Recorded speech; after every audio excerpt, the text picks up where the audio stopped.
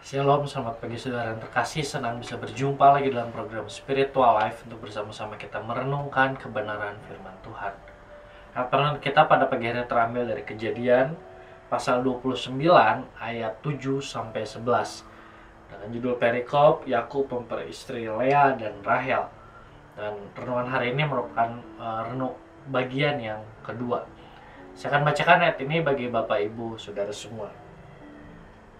Lalu kata Yakub, hari masih siang, belum waktunya untuk mengumpulkan ternak. Berilah minum kambing dombamu itu, kemudian pergilah mengembalakannya lagi.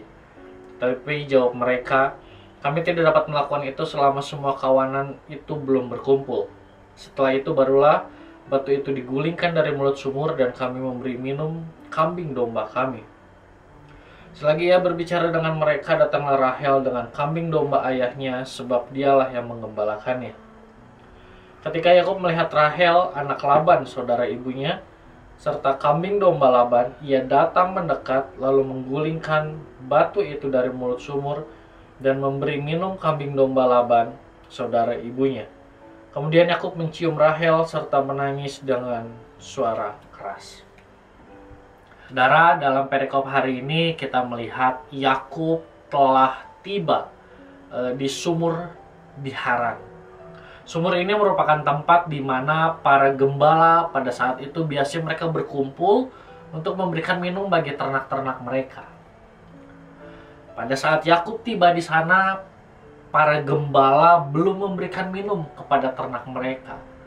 Hal ini karena mereka memiliki kebiasaan akan menunggu gembala yang lain dan setelah itu barulah mereka bersama-sama akan membuka penutup dari sumur itu.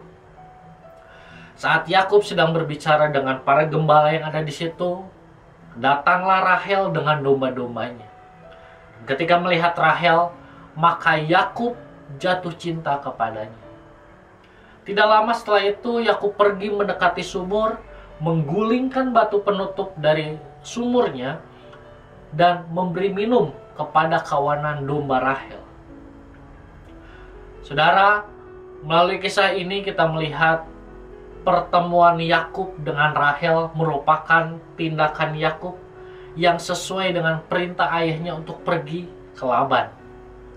Meskipun ketika perjumpaan e, pertama antara mereka Yakub belum mengenal Rahel, namun kita melihat bagaimana Allah memimpin langkah dari Yakub dan kita melihat pertemuan yang kelihatannya kebetulan tetapi sebenarnya ada dalam rencana Allah.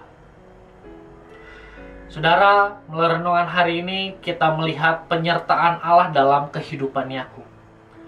Allah mengarahkan langkah Yakub agar sesuai dengan rencana ilahi. Saudara, melalui renungan hari ini kita kembali diingatkan akan penyertaan Allah dalam kehidupan kita. Allah terus menyertai kehidupan kita dan mengarahkan langkah hidup kita sesuai dengan rencana ilahi. Marilah kita terus menyadari penyertaan Allah dalam kehidupan kita.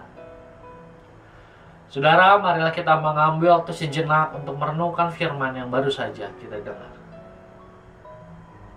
Saudara, sudahkah selama ini kita menyadari akan penyertaan Allah di seluruh kehidupan kita? Jika belum, maka marilah datang kepada Allah melalui doa. Berdoalah agar Allah memberikan kemampuan kepada kita untuk selalu menyadari penyertaan Allah dalam kehidupan kita.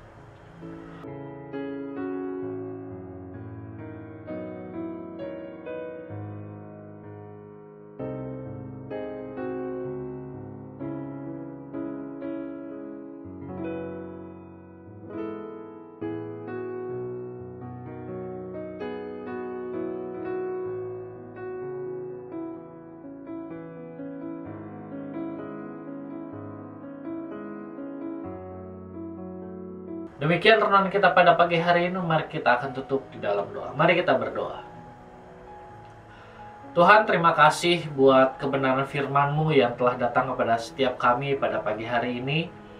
Firman Tuhan kembali mengingatkan kepada setiap kami untuk kami terus menyadari penyertaan Tuhan dalam kehidupan kami.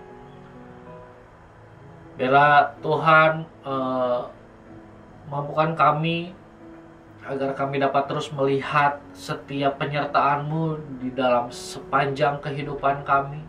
Sehingga apa pun yang terjadi dalam kehidupan kami, kami tetap bisa yakin dan percaya bahwa kami tidak berjalan sendiri, tapi kami bersama, berjalan bersama dengan Engkau yang terus menyertai kehidupan kami. Pak kami juga mau berdoa menyerahkan setiap aktivitas kami hari ini hanya ke dalam tanganmu, hanya di dalam namamu kami berdoa dan mengucap syukur. Haleluya. Amin. Demikian renungan kita hari ini. Selamat pagi, selamat beraktivitas. Tuhan Yesus memberkati.